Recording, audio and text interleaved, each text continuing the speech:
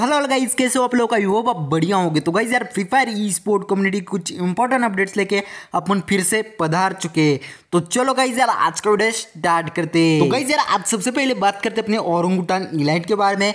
तो गाइस यार orangutan elite के ऊपर अपने बहुत सारे अपडेट्स है। तो मतलब जब कल हेड्स प्लेयर आए थे तब उन्होंने ये सारी चीज़ें बताई। तो उसके आपको इंपॉर्टेंट इंपॉर्टेंट क्लिप्स बताऊँगा जो इंपॉर्टेंट इंपॉर्टेंट पार्ट है। तो वो सारे आप देख लेना अच्छे से बाद में मैं आपको बताता हूँ एग्जैक्टली क्या सीन है। something else? I think they'll be captains because they're अभी तक वो लोग ही लीड करके आए ओजी को I think if I want to give captainship to any of the new members I will be not sure I really want my old guys to have the captainship whose salary is more in OG which game team I can't say किसका salary ज़्यादा है but Valorant guys get paid more than all the games. So yeah, I can say this. Pahadi and RDP are permanent or not? सब guys, सबका trial होगा जब game आएगा। बता रहा हूँ मैं। इट्स नॉट दैट हाँ इज़ पी और इज़ पहाड़ी तो मतलब हंड्रेड परसेंट थाउज़ेंड परसेंट अगर और रह गए रहेगा जी में ऐसा नहीं है। लाइक जो परफॉर्म कर रहे हैं, जो बहुत ही ग्राइंड कर रहे हैं and you know is very good person outside the game also तो उनको हम ज़्यादा चांस देंगे ना। एंड ऑफकोर्स अपने बंदे को आइडिया है इसके बारे में।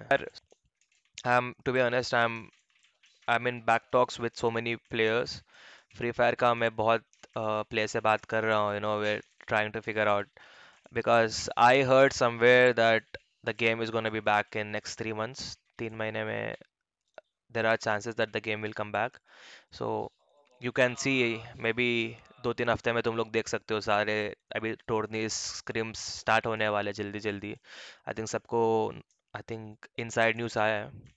So everybody will start grinding again you know so at the end of two three months देखते हैं जो अच्छा परफॉर्म कर रहे हैं, उसको लेते हैं। तो गई जैसे कि अपने हेड्स प्ले ने कहा कि पहाड़ी और आइकोनिक मतलब ऐसा कुछ डिवाइडिंग है अभी, लेकिन वो गेम आने के बाद उनके ट्रायल्स होंगे, जो अच्छा परफॉर्मेंस करेगा गेम आने के बाद उनको शायद से वो अपने ऑर्ग में रखेंगे। तो चेंजेस भी हो सकते हैं और जो पहले वो कह रहे थे कि औरंगुटन की दो लाइनअप्स होंगी फ्री फायर की तो वो भी मतलब अब मुश्किल दिख रहा है कहीं ना कहीं।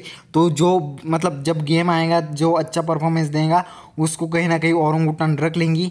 बाकी के प्लेयर्स मतलब शायद से बाहर हो सकते हैं, ठीक है गाइज़ तो गेम आने के ऊपर भी उन्होंने बात की, अपने हेड्स प्लेन है दो तीन मंथ्स के अंदर मतलब ऐसी बातें चल रही है दो तीन मंथ्स के अंदर। तो यार मतलब स्क्रीन भी वगैरह उनके ऊपर भी उन्होंने बातचीत की स्टार्ट हो सकते हैं एक दो वीक में अच्छे से। तो यार वो सब चीज़ें के ऊपर आपका क्या टिप्पणी है? आप कमेंट मेरे को ज़रूर बताना। तो यार हमारा नेक्स्ट अपडेट है अपने Free Fire World Series November के बारे में। तो गाइज़ जो नवंबर में अपना फ्री फायर वर्ल्ड सीरीज़ होने वाला है उधर गाइज़ एट मैचेस होने वाले हैं ऐसा अपने फ्री फायर स्पोर्ट पाकिस्तान ने बताया है ठीक है? जैसे कि आप स्क्रीन के ऊपर भी देख सकते हो Free Fire World Series 2022 November official added Alpine in map full total match increased from 6 to 8 matches. तो गाइज़ ये मतलब थोड़ा लंबा होने वाला है। और गाइज़ यार अच्छी बात है ये भी मतलब थोड़ा देखो इतना बड़ा टूर्नामेंट होता है वो छः मैचेस में ख़त्म हो जाए ऐसा मतलब मज़ा नहीं आता। तो आठ मैचेस होंगे तो, तो और थोड़ा मज़ा बढ़ जाएगा और अच्छा लगेगा देखने में। और गाइज़ यार मतलब इस बार ऐसा नहीं होना चाहिए हम बस न्यूज़ कवर करते रहे इंडिया इस बार फिर से वर्ल्ड सीरीज़ से मतलब बाहर रह जाए ऐसा नहीं होना चाहिए। इस बार इंडियन टीम भी वर्ल्ड सीरीज़ में होनी चाहिए। इसके ऊपर आपके क्या टिप्पणी है वो भी आप कमेंट में को ज़रूर बताना। भाई जरा हमारा नेक्स्ट अपडेट अपने रॉकिन आडेक्स की तरफ़ से। तो गाइज़ यार रॉकी भाई ने अपने विहान दत्ता के ऊपर बातचीत की, उनके टीम में होने ना होने के ऊपर तो उन्होंने क्या कहा, आप देख लो। शायद विहान को अभी तुरंत मौका नहीं मिल सकता, क्योंकि वहाँ पे चार settle down players already two two side gamers में खेल रहे हैं। टीएसजी का इस पर्टिकुलर टूर्नामेंट में जो है, उनका मैच भी होगा। और उसमें भी मुझे नहीं लगता कि विहान को संपूर्ण मौका मिल सकता है, क्योंकि अगर मैं गिनूं कि अगर किलर आइकॉनिक लेजेंड या फिर उज्जवल में से कोई एक प्लेयर बाहर भी बैठता है राउंड भाई, उसके बावजूद भी वहाँ पे सासके बैठे हुए हैं जगह लेने के लिए। सासके अभी भी वहाँ पे बैठे हुए हैं। कि किसी के रिप्लेसमेंट में खेले। तो वहाँ पे और Ojaswi how could we forgot board examination तो ओजस्वी के भी खत्म हो चुके हैं। तो उस हिसाब से विहान शायद वहाँ पे टीम से कहीं ना कहीं आ, उनका आ, जो है ड्रॉप आउट होना लाजमी था। बट रावण भाई विहान दत्ता देखिए बड़े खिलाड़ी हैं और हम भूल तो गाइज़ हमारा नेक्स्ट अपडेट अपने Free Fire e sport Nepal की तरफ़ से है।